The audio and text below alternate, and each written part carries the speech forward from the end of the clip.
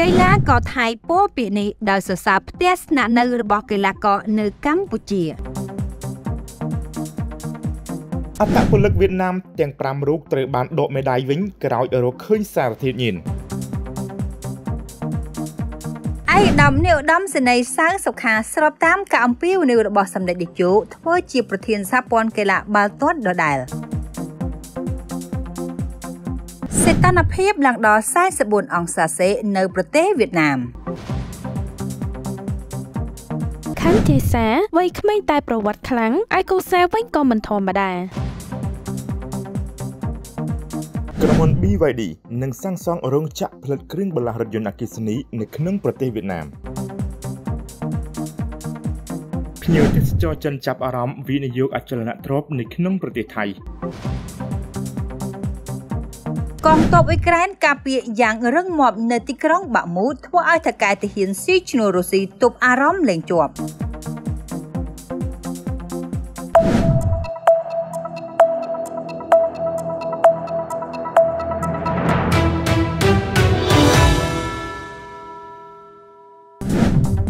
កីឡាករថៃម្នាក់បានថតវីដេអូបង្ហាញផ្ទះស្នាក់នៅរបស់កីឡាករដែលមកចូលរួមប្រកួតកីឡាស៊ីហ្គេមនៅទីក្រុងភ្នំពេញប្រទេសកម្ពុជាដោយកីឡាកររូបនេះសរសើរថានៅទីនេះមានការរៀបចំល្អហើយមិនដូចអ្វីដែលពលរដ្ឋថៃនាំគ្នារិះគន់នោះទេ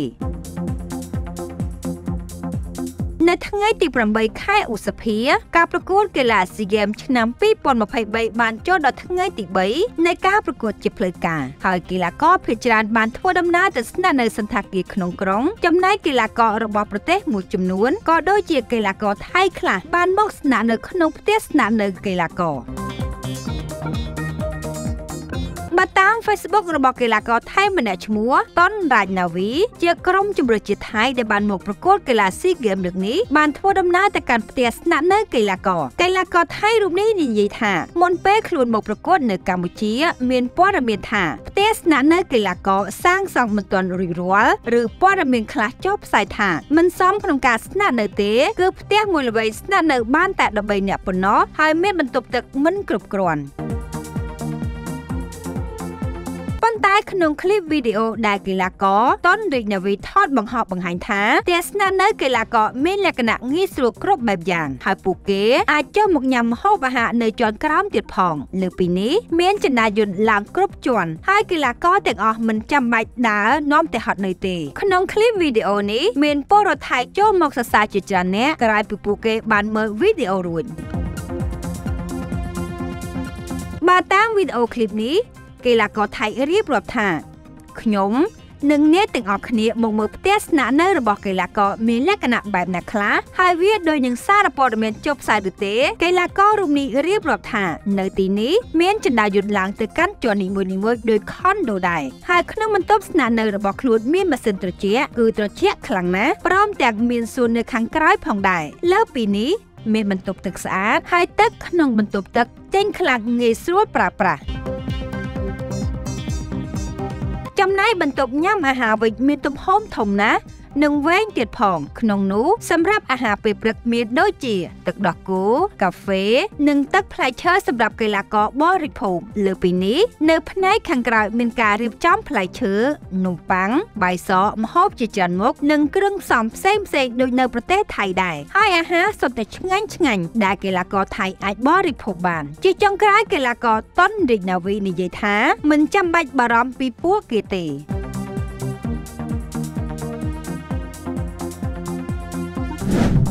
មួយថ្ងៃមុនបើកព្រឹត្តិការណ៍ SEA Games លើកទី32នៅកម្ពុជាអត្តពលិកវៀតណាមចំនួន5នាក់ត្រូវបានប្រកាសជាផ្លូវការនិងដកហូតមេដាយដោយសារធ្វើតេស្តវិជ្ជមានរកឃើញសារធាតុញៀននៅក្នុងព្រឹត្តិការណ៍ការប្រកួតកីឡា SEA Games លើកទី31កាលពីឆ្នាំមុនដែលកាលនោះវៀតណាមផ្ទាល់គឺជាម្ចាស់ផ្ទះ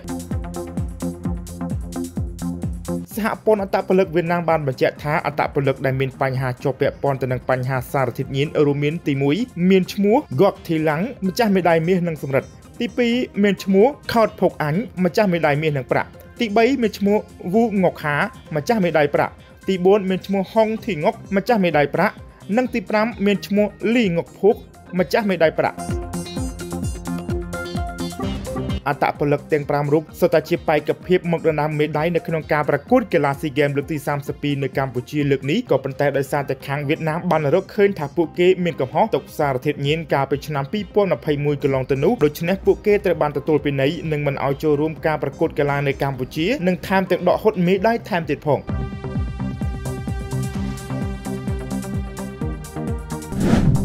ឯកឧត្តមនាយឧត្តមសេនីយ៍សៅសុខាបានធ្វើការឆ្លើយតបតាមការអំពាវនាវរបស់សម្ដេចតេជោហ៊ុនសែននាយករដ្ឋមន្ត្រីកម្ពុជាដែលបន្តធ្វើជាប្រធានសហព័ន្ធកីឡាបាល់ទាត់កម្ពុជាដដែលការឆ្លើយតបធ្វើឡើងនៅល្ងាចថ្ងៃទី8ខែឧសភាក្រោយសម្ដេចអំពាវនាវឲ្យឯកឧត្តមនាយឧត្តមសេនីយ៍សៅសុខាបន្តធ្វើជាប្រធានសហព័ន្ធកីឡាបាល់ទាត់ខណៈលោកបានសូមលាលែងពីតំណែងនេះ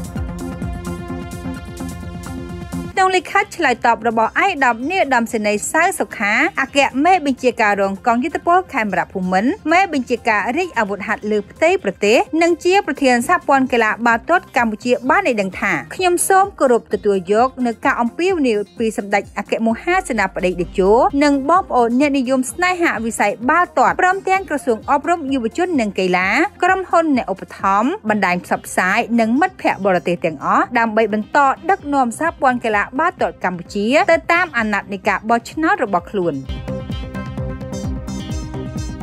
ដើម្បីឆ្លើយតបទៅនឹងទំនុកចិត្តរបស់សម្ដេចតេជោនិងអ្នកស្នេហាវិស័យកីឡាបាល់ទាត់កម្ពុជាឯកឧត្តមនាយឧត្តមសេនីយ៍សាសុខាអំពីវនីវចំពោះក្លឹបសមាគមជាសមាជិកសហព័ន្ធកីឡាបាល់ទាត់កម្ពុជា មន្ត្រីបុគ្គលិក គ្រូបង្វឹកអញ្ញាកណ្ដាលកីឡាករត្រូវបន្តធ្វើកំណែទម្រង់លើគ្រប់ផ្នែកដើម្បីភាពជឿនលឿនថ្មីសម្រាប់វិស័យបាល់ទាត់នៅកម្ពុជាដើម្បីសុខភាពមិត្តភាពនិងកិត្តិយសជាតិតាមរយៈការប្រកួតកីឡាបាល់ទាត់ជាលក្ខណៈអន្តរជាតិសម្រាប់អនាគតកាល។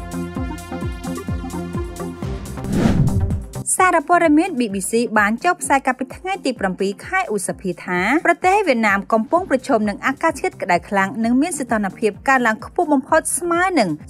44.1អង្សាសេក្រុមអ្នកជំនាញលើកឡើងថាសីតុណ្ហភាពកើនឡើងខ្ពស់បែបនេះដោយសារការផ្លាស់ប្តូរអាកាសធាតុ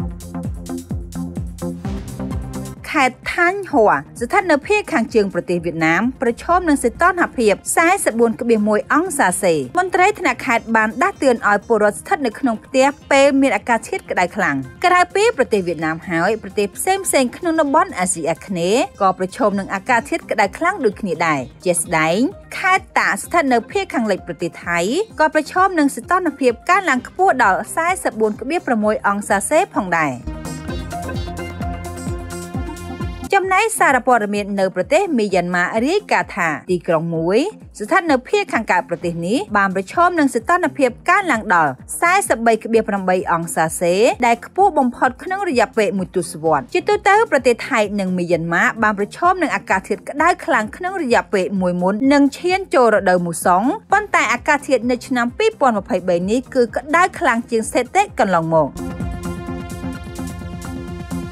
លោកងុយយេនងុកហ៊ុយអ្នកជំនាញផ្នែកផ្លាស់ប្តូរអាកាសធាតុនៃទីក្រុងហាណូយបានផ្ដល់បទសម្ភាសន៍ជាមួយសារព័ត៌មាន AFP ថាស្ថិតិថ្មីរបស់វៀតណាមចាត់ទុកជារឿងមួយគួរឲ្យបារម្ភបើពិចារណាពីការផ្លាស់ប្តូរអាកាសធាតុនិងការកើនឡើងកម្ដៅផែនដីលោកថាខ្ញុំគិតថាអាកាសធាតុនឹងក្តៅជាបន្តបន្ទាប់និងបញ្ជាក់ថាវាកាន់តែក្តៅខ្លាំងផងដែរ។ប ច្ចុប្បន្នអាកាសធាតុក្តៅនៅលើពិភពលោកកើនឡើងប្រមាណ1.1អង្សាសេចាប់តាំងពីចូលក្នុងយុគឧស្សាហកម្មហើយស្ថានភាពនឹងកើនឡើងជាបន្តបន្ទាប់ខណៈប្រទេសនានាមិនចាត់វិធានការរឹតបន្តឹងដើម្បីកាត់បន្ថយការបំភាយឧស្ម័នកាបូនឌីអុកស៊ីតទេនោះ។ ជាកីឡាករនីជឿជិតស៊ូកូនកាត់ខ្មែរអាមេរិកមិចសេតដែលទទួលបានការស្រឡាញ់ចូលចិត្តពីមហាជនរួមទាំងថ្នាក់ដឹកនាំផងដែរទោះបីអាយុត្រឹមតែ22ឆ្នាំតែខណ្ឌចេសាបានសាងភាពល្បីល្បាញខ្លាំងលើកីឡាជីជិតស៊ូប្រកួតឈ្នះបានមេដាយជាច្រើនទាំងកម្រិតពិភពលោកនិងតំបន់អាស៊ីជាណាមិញយើងមកដឹងទាំងអស់គ្នាពីប្រវត្តិព្រួតត្រួតរបស់ខេនចេសារួមទាំងជីវិតឯកជននាងផងដែរដែលកំពុងទទួលបានការចាប់អារម្មណ៍ខ្លាំងពីអ្នកគ្រប់គ្រង ម្ចាស់មេដាយមាសជូជីស៊ូណូគីក្នុងព្រឹត្តិការណ៍ SEA Games ឆ្នាំ2023រូបនេះកើតនៅថ្ងៃទី8ខែតុលាឆ្នាំ2001នៅរដ្ឋ Texas ហើយរស់នៅរដ្ឋ California ខាងត្បូងមានម្ដាយឈ្មោះ April Marie Khan ជាកូនកាត់មិចសិចអាមេរិកនិងឪពុកឈ្មោះ Peter L. Khan ជាកូនកាត់ខ្មែរអាមេរិកចេះសាបានប្រកួតតំណាងឲ្យកម្ពុជាក្នុងការប្រកួតកីឡាអាស៊ីឆ្នាំ2018និងដណ្ដើមបានមេដាយមាសក្នុងវិញ្ញាសានេវ៉ាសាទម្ងន់49គីឡូផ្នែកនារីនេះក៏ជាមេដាយមាសដំបូងគេដែលកម្ពុជាទទួលបានផងដែរក្នុងប្រភេទកីឡាជីជីស៊ូក្នុងព្រឹត្តិការណ៍ SEA Games ឆ្នាំ2018នៅថ្ងៃទី6ខែតុលាឆ្នាំ2020ខាងជាសាបានទទួលខ្សែក្រវ៉ាត់ខ្មៅក្នុងប្រភេទកីឡាជឿជិតស៊ូរបស់ប្រទេសប្រេស៊ីលដែលជាថ្ងៃពិសេសមុនថ្ងៃខួបកំណើតនាងឈានដល់អាយុ19ឆ្នាំបើតាមទិន្នន័យខ្លះបាននិយាយថាចេសាបានវឹកហាត់ជឿជិតស៊ូនៅអាយុ12ឆ្នាំនិងខ្លះទៀតថានាងវឹកហាត់នៅអាយុ8ឆ្នាំ ក្រៅពីវិស័យកីឡាងាកមកកាន់រឿងឯកជនវិញខានជាសាមានគូស្នេហ៍រួចហើយខណៈគូស្នេហ៍នាងក៏មានប្រវត្តិមិនធម្មតាលើវិស័យនេះ លោកសាច់ខាណាជាជនជាតិអាមេរិកជាកីឡាករជាជាតិស៊ូសាយកវ៉ាត់ខ្មៅដែលដីគូស្នេហ៍ខ្លួនគឺខាន់ចេសាមិនត្រឹមតែជាកីឡាករជាជាតិស៊ូដែលធ្លាប់មានដណ្ដើមមេដាយមាសនិងមេដាយផ្សេងផ្សេងទៀតជាច្រើននោះទេលោកក៏ជាគ្រូបង្វឹកកីឡាជាជាតិស៊ូម្នាក់ផងដែរខណៈច័ន្ទចេសាក៏ជាគ្រូបង្វឹកម្នាក់ផ្នែកកីឡាជាជាតិស៊ូនេះដូចគ្នា លោកកើតនៅថ្ងៃទី23ខែឧសភាឆ្នាំ2002នៅអូហារដ្ឋ Hawaii សហរដ្ឋអាមេរិកខណៈបានផ្លាស់ទៅរស់នៅរដ្ឋ California នៅអាយុ10ឆ្នាំនៅកុមារភាពសាច់កាណាត្រូវបានណែនាំឲ្យស្គាល់កីឡាការ៉ាតេនៅអាយុ5ឆ្នាំដែលជាបទពិសោធន៍រយៈពេលខ្លីមួយខណៈដែលលោកមិនបានរកឃើញរចនាប័ទ្មប្រយុទ្ធដែលមានមូលដ្ឋានគួរឲ្យទាក់ទាញដោយសារកីឡាការ៉ាតេមិនបានធ្វើឲ្យសាចាប់អារម្មណ៍ម្ដាយរបស់លោកបានប្រញាប់បញ្ជូនលោកទៅសាលាជឿជស៊ូក្នុងតំបន់ដោយចាប់ផ្ដើមហាត់រៀននៅអាយុ6ឆ្នាំទីបំផុតកីឡាជឿជស៊ូបានធ្វើឲ្យគូសេខាន់ចេសាទទួលបានផ្លែផ្កាជាច្រើនពីវិស័យនេះដោយទទួលបានមេដាយជាច្រើនខណៈលោកទទួលបានខ្សែក្រវ៉ាត់ខ្មៅនៅថ្ងៃទី9ខែធ្នូឆ្នាំ2023ពីដៃរបស់គីយឺមីម៉ាដេ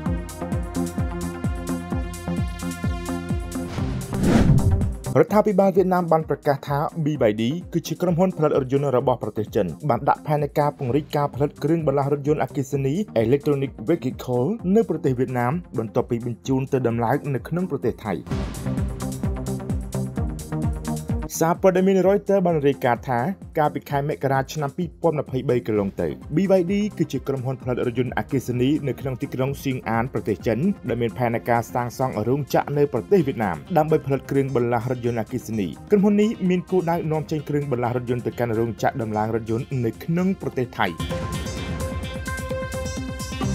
រដ្ឋាភិបាលវៀតណាមបានចេញសេចក្តីប្រកាសថ្លែងការណ៍ក្រោយពីកិច្ចប្រជុំរវាងលោកវ៉ាងឈុនហ្វូស្ថាបនិកនិងជាប្រធានក្រុមហ៊ុន BYD ជាមួយនឹងឧបនាយករដ្ឋមន្ត្រីប្រទេសវៀតណាមអំពីលក្ខន្តិកៈនៃការវិនិយោគរបស់ក្រុមហ៊ុន BYD ប៉ុន្តែសេចក្តីថ្លែងការណ៍នេះមិនមានបញ្ជាក់អំពីចំនួនទឹកប្រាក់វិនិយោគរបស់ក្រុមហ៊ុន BYD សម្រាប់ការសាងសង់រោងចក្រនៅក្នុងប្រទេសវៀតណាមនៅឡើយនោះទេ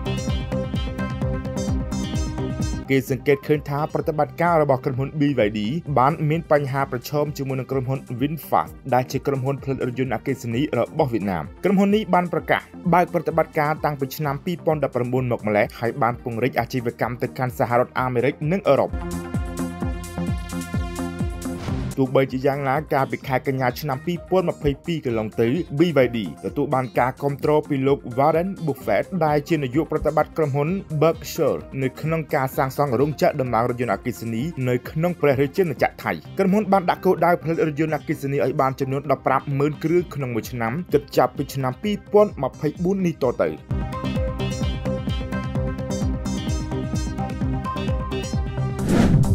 បើតាមទិន្នន័យរបស់គេហទំព័រ trip.com បានបញ្ជាក់ថាថៃជាប្រទេសមួយដែលភ្ញៀវទេសចរចិនធ្វើដំណើរមកកំសាន្តច្រើនបំផុតនៅក្នុងទិវាពលកម្មកន្លងមកបន្ទាប់មកគឺភ្ញៀវទេសចរជប៉ុននិងកូរ៉េខាងត្បូងក្រៅពីនេះថៃមានសាលារៀនអន្តរជាតិល្អៗនិងមន្ទីរពេទ្យមានគុណភាពជាច្រើនគឺជាកត្តាទាក់ទាញជនជាតិចិនជាច្រើនដែលកំពុងតែស្វែងរកទិញផ្ទះទី2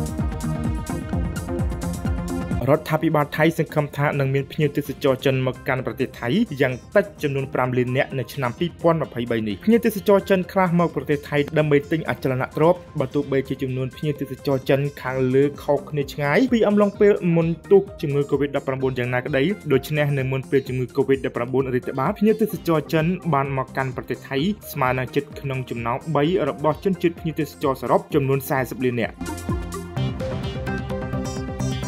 លោកមេសេឈុនហារៈឆុតនាយកសមាគមអចលនទ្រព្យប្រទេសថៃបានថ្លែងថាគេសង្កេតឃើញច្បាស់ថាពលរដ្ឋចិនមានតម្រូវការទិញចលនាទ្រព្យរបស់ថៃដោយអចលនទ្រព្យថៃដែលពួកគេចាប់អារម្មណ៍ជាងនោះគឺស្ថិតនៅក្នុងទីក្រុងធំធំដូចជាក្រុងបាងកកឈៀងម៉ៃប៉ាតាយានិងទីក្រុងនៅភាគឦសានប្រទេសថៃលោកនិយាយថាពលរដ្ឋចិនបានមកទិញលំនៅឋាននៅប្រទេសថៃនិងបញ្ជូនកូនទៅរៀននៅសាលារៀនអន្តរជាតិខណៈឪពុកម្ដាយរបស់ពួកគេបានមករស់នៅប្រទេសថៃដើម្បីថែទាំកូនចៅ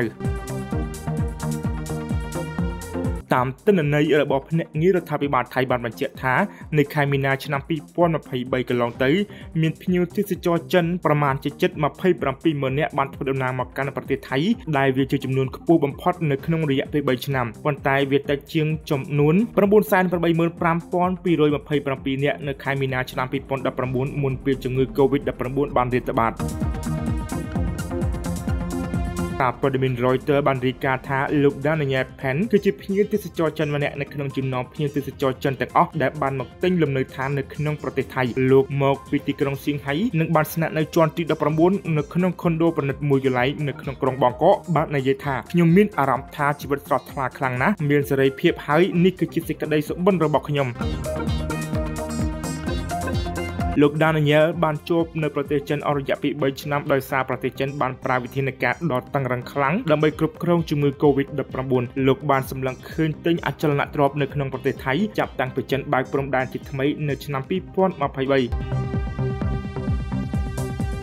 ពលរដ្ឋចិនជាច្រើនអ្នកបានចាប់អារម្មណ៍ទៅលើការវិនិយោគលើលំនៅឋាននៅក្រៅប្រទេសនិងត្រូវការកន្លែងស្នាក់នៅមួយមានសុវត្ថិភាពដើម្បីជៀសវាងអំពីការឆ្លងរោគស្រដៀងគ្នានេះដែរហើយពួកគេចង់គេចពីហានិភ័យសេដ្ឋកិច្ចនៅប្រទេសចិនផងដែរ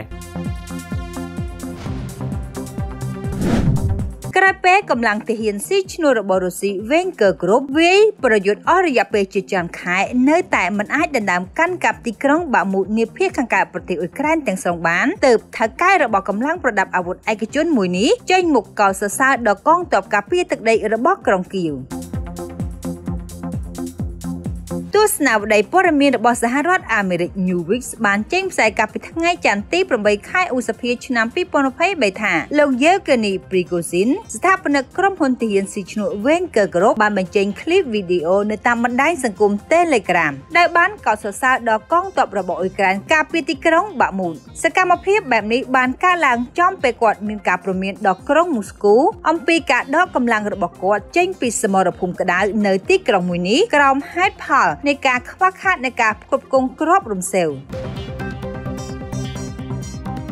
លោកយេកេនីព្រីកូស៊ីនបានបញ្ជាក់នៅក្នុងឃ្លីបវីដេអូនោះថាគាត់កំពុងតែឈរនៅមុខទីក្រុងដូណេតជាសមរភូមិវាយប្រយុទ្ធគ្នាដ៏ខ្លាំងក្លាបំផុតរវាងទាហានរុស្ស៊ីនិងអ៊ុយក្រែនអស់រយៈពេលជាច្រើនខែកន្លងមកនេះថាការក្រុមហ៊ុនទាហានស៊ីឈ្នួលរបស់រុស្ស៊ីរូបនេះបានអះអាងទៀតថាអ៊ុយក្រែនកំពុងតែបង្ហាញកងទ័ពចំនួន600នាក់នៅក្នុងមួយថ្ងៃមួយថ្ងៃដែលចំនួននេះស្មើគ្នានឹងចំនួនមនុស្សដែលត្រូវបានសម្លាប់ជាប្រចាំថ្ងៃ